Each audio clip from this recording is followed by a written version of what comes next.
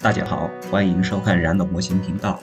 上一期我们完成了座舱和机鼻部分。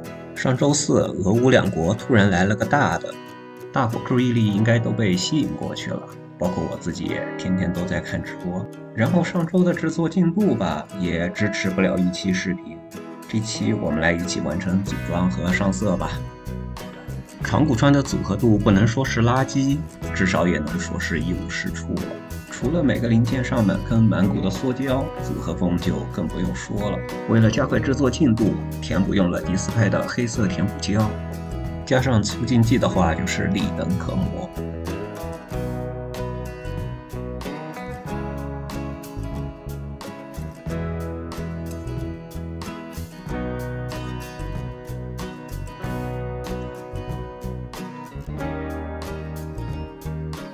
这些嘎拉角里的推出口可以说是深恶痛绝，又难补又难磨。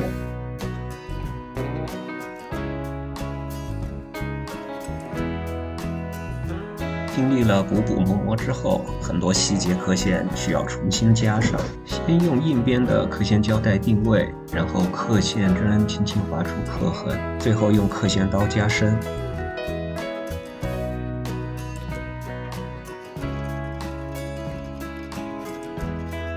虽然前边磨得要死要活，到喷漆的时候其实也没有几个零件。先喷上俊士一千二百毫的灰色水补土，机鼻、垂尾和腹鳍部分的涂装采用遮盖喷涂，黄色部分用的是俊士的三二九号。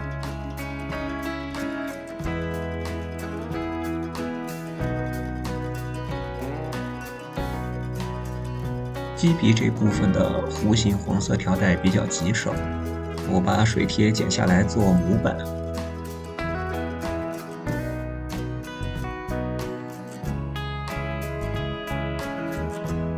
在遮盖胶带上画出弧形的形状，再用笔刀切下来。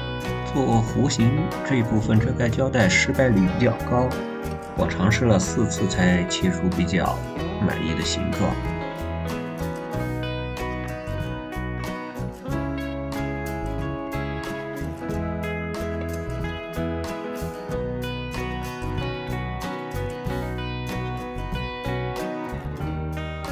遮盖胶带的定位也需要水贴的辅助。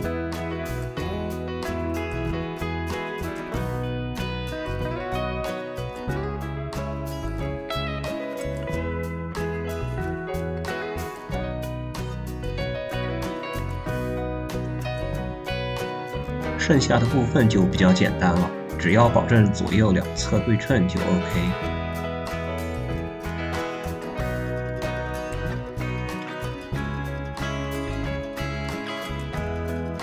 为了防止漏漆翻车，遮盖胶带遇到模型表面有凹凸的部分要用牙签压紧，然后喷涂亮光黑色部分。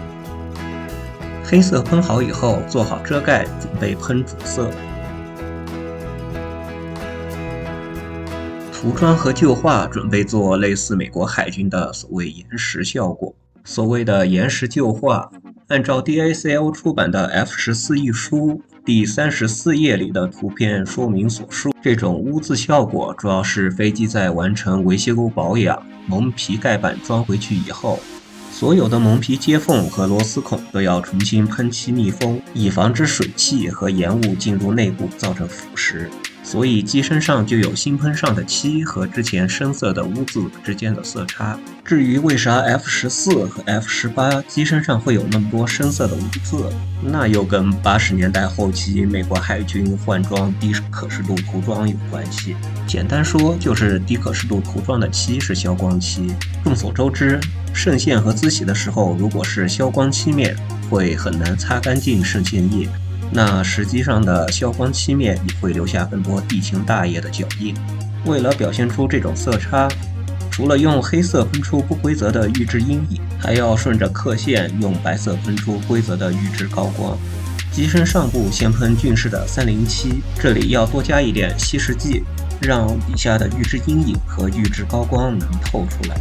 然后在三零七里加白色调浅，强化色差，用帕金森喷涂的方式把油漆抖到模型上。这里顺便啰嗦两句联邦标准色卡，也就是三零七号色下边写的这个 FS 三六三二零，FS 就是联邦标准的首字母缩写，后面五位数的第一位，一代表光泽漆，二代表半光泽。三代表消光，第二位数零为褐色，一为红色，二为橙色，三为黄色，四为绿色，五为蓝色，六为灰色，七为杂项，八为荧光色。第三至五位数则是这个颜色的顺序编号。喷完浅色的色差后，在三零七里加了少量的四十二号，加深污渍的色差。在喷深浅两个色差的时候，我反复喷了好几次，基本就是面多了加水，水多了加面，一直到效果满意为止。机身上的水贴贴好以后，整体喷消光保护。因为机鼻、腹鳍和除尾部分是光泽的，在喷保护漆的时候要注意分开来。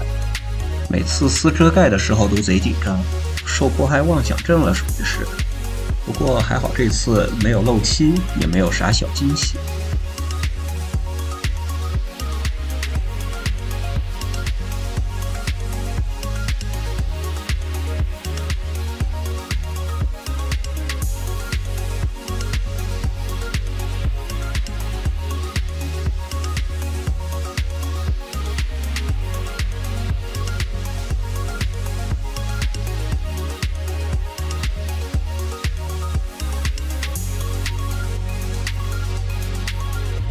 长谷川作为一个水贴大厂，竟然给了 C 社的水贴，虽然略微有点厚，但是极不透光，和俊士软化剂反应也很不错，算是这次制作中少有的愉悦。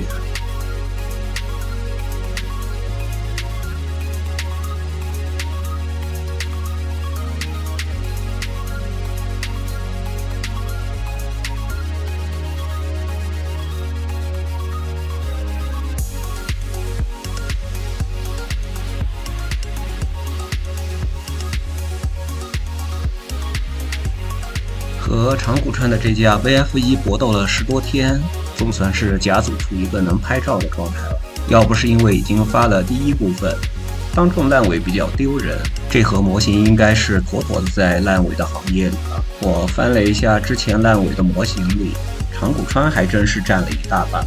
这期尝试给视频加上了配音解说，配音的过程那是相当坎坷，除了各种嘴瓢外，还要听着自己奇怪的声音和尴尬症战斗。不管怎样，最后还是磕磕绊绊的完成了。希望各位观众大佬多提意见，感谢各位观看，我们下期见。